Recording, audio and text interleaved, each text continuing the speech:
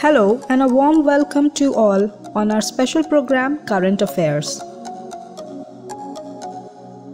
Recently, the Union Minister of Coal and Mines addressed a webinar on coal gasification and liquefaction.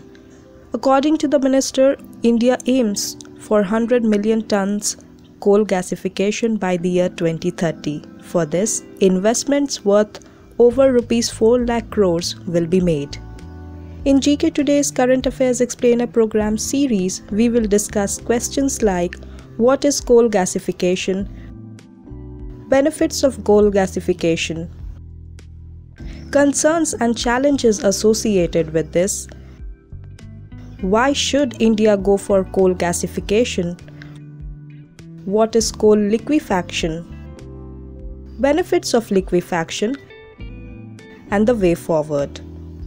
Let us begin by talking about the first question what is coal gasification?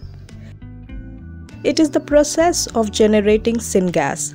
Syngas is a mixture consisting carbon monoxide that is CO hydrogen that is H2, carbon dioxide that is CO2, natural gas that is CH4 and water vapor that is H2O. In the process of gasification, coal is blown with oxygen and steam while also being heated under high pressure. During the reaction, oxygen and water molecules oxidize the coal and generate syngas. So, what are the benefits of gasification? Transportation of gas is much cheaper in comparison to transportation of coal. It helps mitigate local pollution problems since it can effectively use the gases twice, hence, it has greater efficiency compared to conventional coal burning.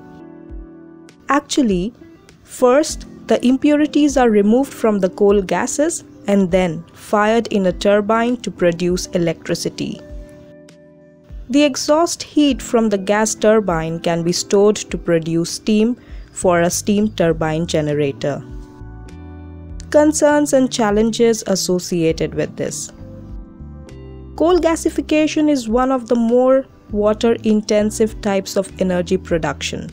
There are also problems regarding water contamination, land subsidence, and disposal of wastewater in safety.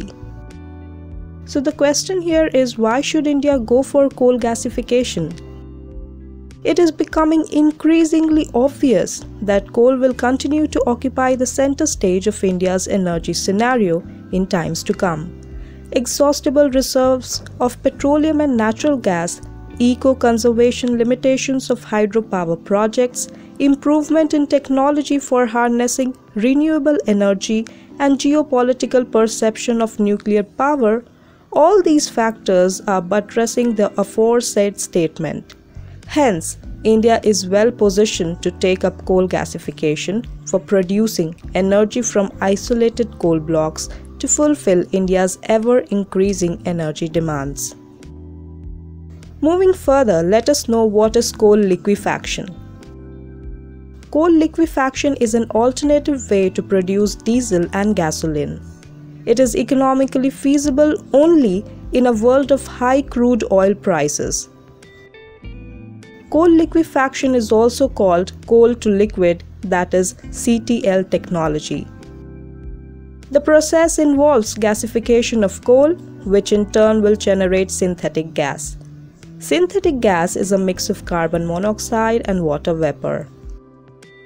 The synthetic gas can be liquefied to its fuel equivalent in presence of cobalt or iron based catalyst at high temperature and pressure. However, liquefied coal releases twice as much CO2 as burning oil. It also releases a large volume of SO2.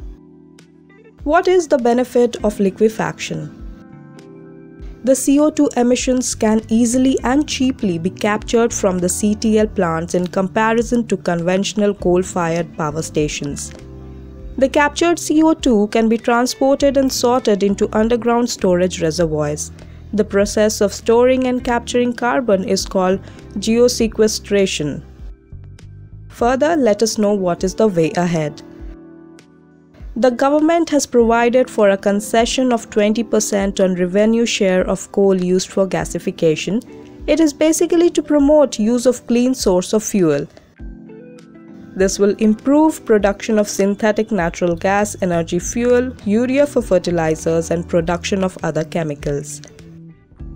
In addition to developing indigenous technology, the Indian government should make an effort to attract leading foreign companies investing in domestic CTL projects and private Indian players.